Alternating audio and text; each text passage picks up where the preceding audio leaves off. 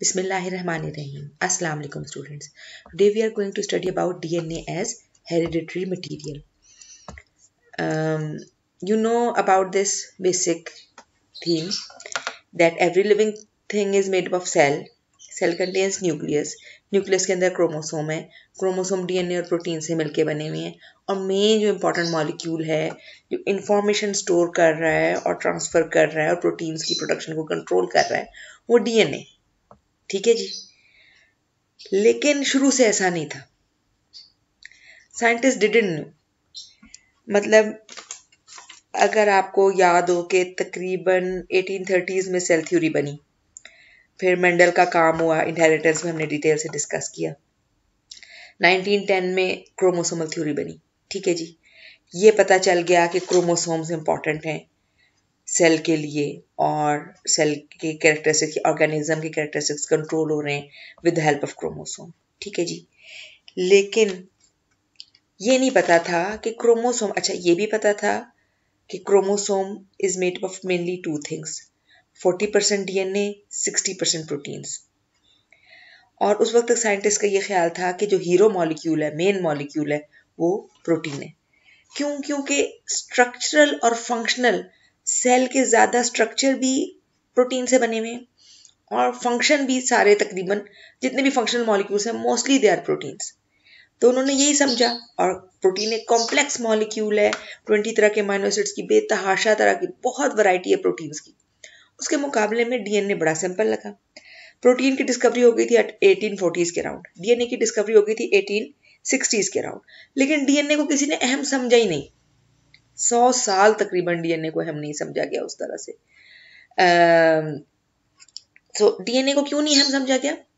क्योंकि डीएनए बहुत सिंपल है। सिर्फ़ चार तरह के बिल्डिंग ब्लॉक्स हैं four types of nucleotides which are going to make the whole complex structure of DNA ये तो उस वक्त साइंटिस्ट को अंदाज़ा नहीं था ना कि सीक्वेंस इंपॉर्टेंट है।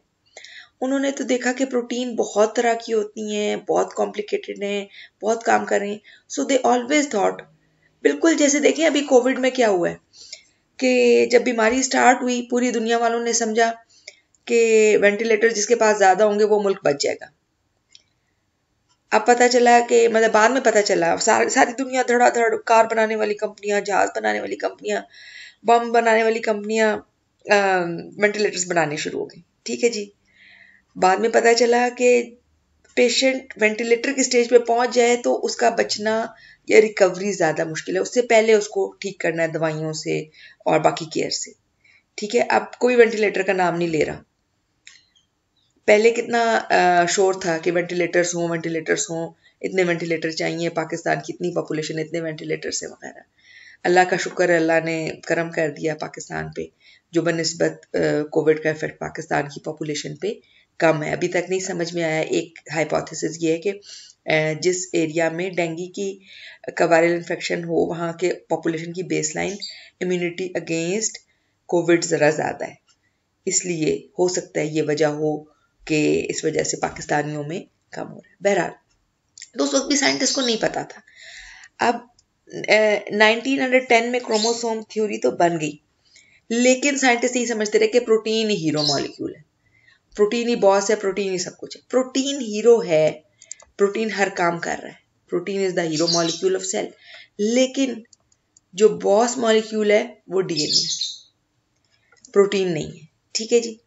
अच्छा अब सबसे पहले जिस साइंटिस्ट ने एक्सपेरिमेंट किया, वो था ग्रिफिथ ग्रिफिथ की टीम ने जो है what they were studying they were studying pneumonia bacteria ठीक है जी?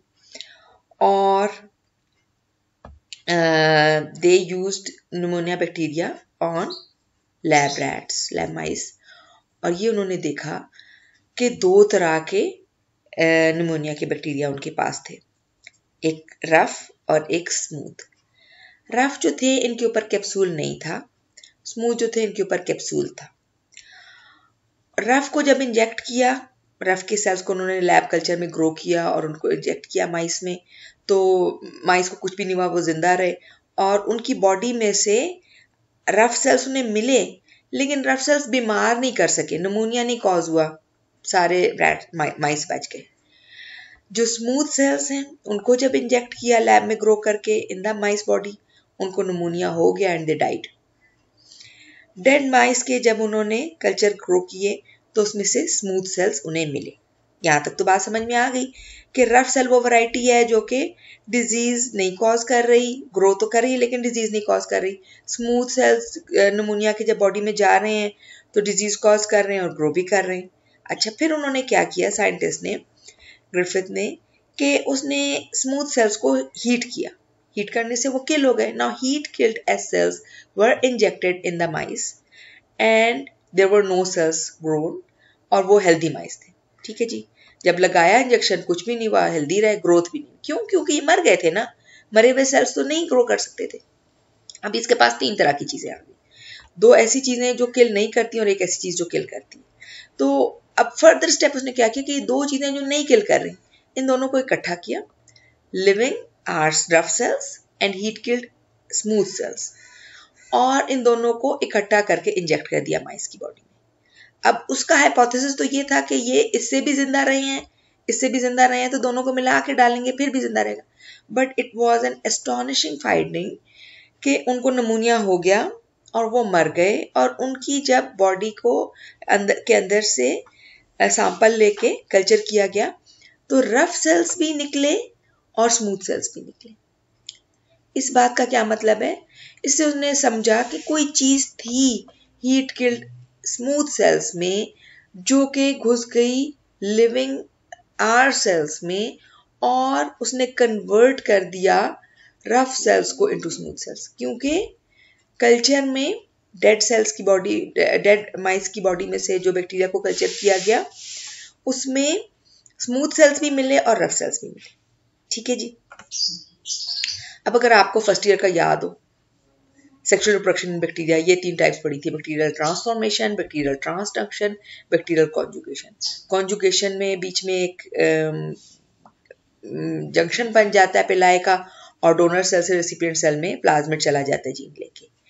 ट्रांसडक्शन में बैक्टीरियोफेज वायरस एक बैक्टीरिया से डीएनए लेके दूसरे बैक्टीरिया तक पहुंचाता है. ट्रांसफॉर्मेशन में बैक्टीरिया जो है डोनर सेल रिलीज़ करता है डीएनए डोनर सेल फट जाता है, बर्स्ट हो जाता है। और इसमें से जो डीएनए है, वो रिसिपिएंट सेल में घुस जाता है। ये वो चीज़ है ट्रांसफॉर्मेशन ठीक है? ये अब आपने पढ़ा हुआ है, आपने एंड प्रोडक्ट पढ़ा हुआ है। उस वक्त जब ग्रिफिथ ने एक्सपेरिमेंट किया ग्रिफिथ ने कब किया? 1928 में। उस वक्त ये नहीं पता था। तो उस वक्त उसने कहा कि कोई चीज़ है, कोई ट्रांसफॉर्मर है, जो कि एस सेल से निकला है डेड एस सेल से, और लाइव आर सेल्स में घुस गया और उसने उसको कन्वर्ट कर दिया है। लाइव एस मतलब रफ सेल्स क्यों नहीं बीमारी कर रहे? हैं क्योंकि उनके ऊपर कैप्सूल नहीं है। स्मूथ सेल्स क्यों बीमारी कर रहे हैं? क्योंकि उनके ऊपर कैप्सूल है। जब dead heat killed S cells को मिक्स किया गया लिविंग रफ सेल्स में तो डेड स्मूथ सेल्स का डीएनए एंटर हो गया इनटू रफ सेल और उसमें कैप्सूल बनाने की सलाहियत आ गई। इसलिए तो बाद में उनके, उन माइस के बॉडी में से जो कल्चर प्रो किया गया, उसमें अलाइव एस सेल्स और आर सेल्स मिली। ठीक है जी, यहाँ तक बात समझ में आई?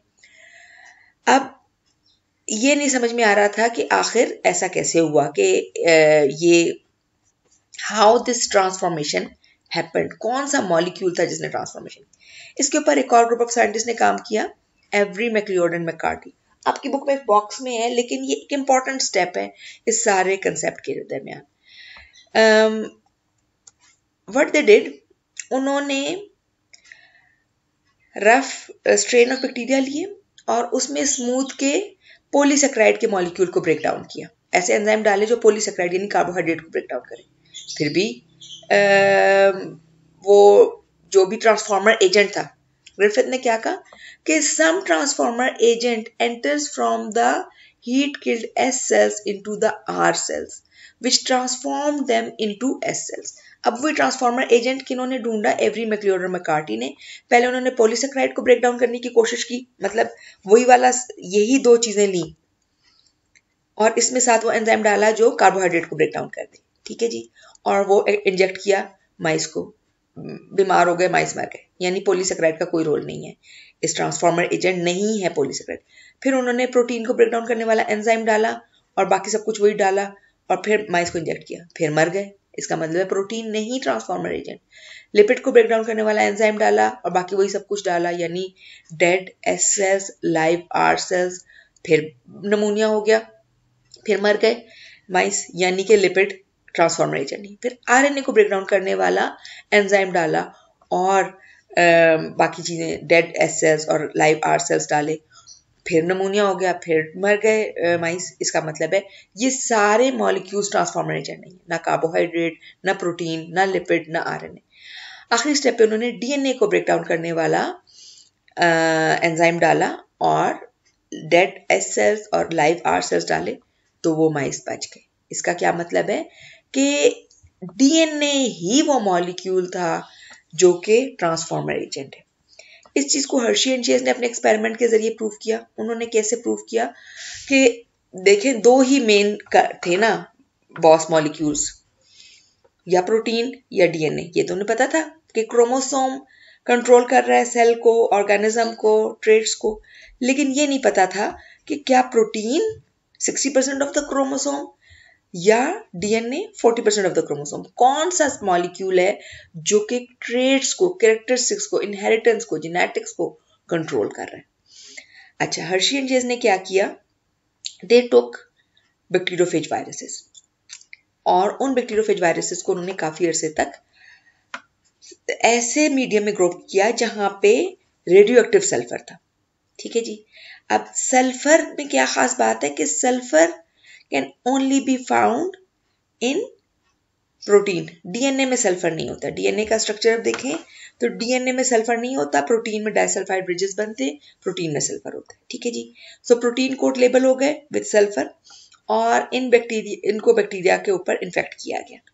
Bacteria were infected by these sulphur radio labelled bacteriophage viruses और फिर इनको ग्रो करने दिया गया इन बैक्टीरिया को। ज़ाहिर सी बात है और फिर उसके बाद उन, ये जो बैक्टीरिया ग्रो हो गए phage grown with radioactive sulphur इनको बैक्टीरियोफेज में जब वो बैक्टीरिया में एंटर हो गए, इनको फिर सेंट्रीफ्यूज किया गया, तेज स्पीड पे घुमाया गया बहुत, एक पैलेट बन गया नीचे, ऊपर एक सुपरनेटेंट आ गया। सारी रेडियो एक्टिविटी सुपरनेटेंट में आई पैलेट में नहीं आई। पैलेट में क्या था? बैक्टीरिया और जो कुछ उसमें मौजूद था। और सुपरनेटेंट में क्या था? बाकी सोल्यूशन और जो चीज़ें बाहर रह जाती हैं। तो प्रोटीन कोड बाहर रह जाता है। उस वक्त नहीं पता था साइंटिस्ट को कि प्रोटीन कोड बाहर रह जाता है डीएनए अंदर चला जाता है और फिर वो बैक्टीरिया को काबू कर लेता है लाइसोजेनिक या लिटिक साइकिल के ज़रिए। ठीक है जी? तो इससे ये पता चला कि जो फाइनल बैक्टीरिया के अंदर एंटर हुई है चीज़ वो प्रोटीन नहीं हुई। क्योंकि प्रोटीन तो रेडियोक्टिव लेबल्ड सुपरनेटेंट में आ गया। पैलेट में नहीं आया, यानी बैक्टीरिया के अंदर नहीं घुसा है प्रोटीन। दूसरा एक्सपेरिमेंट उन्होंने क्या किया? उन्होंने फ़ेज़ डीएनए को रेडियो लेबल किया। कैसे? डीएनए में फॉस्फोरस होता है जो प्रोटीन में कभी भी नहीं होता। प्रोटीन में सल्फ़र होता है जो डीएनए में कभी नहीं होता।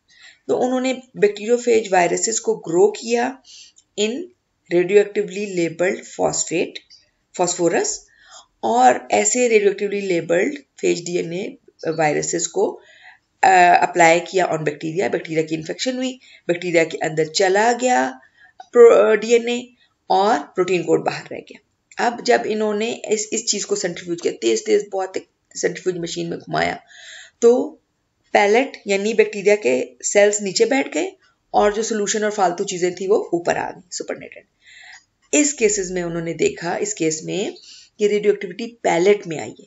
यानी नीचे जो सेल बैठ गए सेल के अंदर क्या घुसा है? डीएनए घुसा है। इस एक्सपेरिमेंट से उन्हें ये नहीं नज़र आ रहा था, ये हमें पता है। अब इलेक्ट्रॉन माइक्रोस्कोपी और बहुत कुछ इतना पता है जो हमें, हम इस इंफॉर्मेशन तक देवर एट दिस लेवल उन्होंने इस रेडियो एक्टिविटी से ये अंदाज़ा लगाया, ये समझा कि प्रोटीन कोड ये पता था उन्हें कि बैक्टीरियोफेज वायरस में दो चीज़ें होती हैं प्रोटीन कोड और डीएनए लेकिन ये नहीं पता था कि सेल के अंदर, बैक्टीरिया के अंदर क्या घुसता है, जो कि उसको कंट्रोल कर लेता है। तो जब उन्होंने, इसलिए उन्होंने ये एक्सपेरिमेंट किया। इतनी बात पता थी। They knew that bacteriophage virus contains two things DNA and protein and bacteriophage viruses can control the bacteria and use them as their slave और इस एक्सपेरिमेंट के ज़रिए उन्हें क्या नज़र आया? उन्हें इतना नज़र आया। और इससे उन्होंने ये समझा। ठीक है जी?